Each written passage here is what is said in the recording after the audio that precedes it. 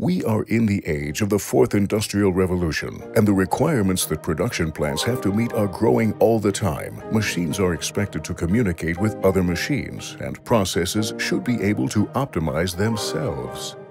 State-of-the-art technologies, such as smart motor sensors from SICK, help to make monitoring processes and machines easier. They give production processes more transparency and provide information about the operational status of your machine. This allows you to make interventions in production processes and prevent problems early on. For example, you can replace a motor that was soon set to fail quickly and without experiencing any malfunctions. Smart motor sensors allow components to be replaced in good time and hazards, unplanned machine downtimes and accidents to be prevented.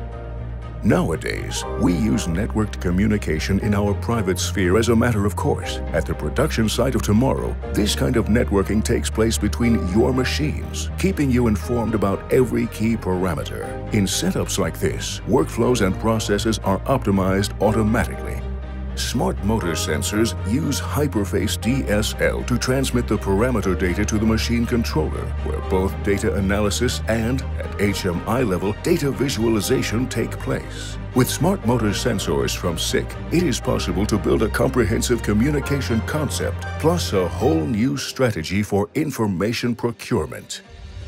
It's all thanks to smart motor sensors, which learn to interact with every device and machine with the help of the SICK sHub. Motor feedback systems, resolvers, motors, actuators, and sensors for shock, moisture, and temperature measurement. With the help of the sHub and HIPERFACE DSL, they can all be networked with the machine controller Smart motor sensors stand for knowledge pools, flows of information, and production that works in perfect harmony with your requirements. Smart motor sensors. We make your machine smart.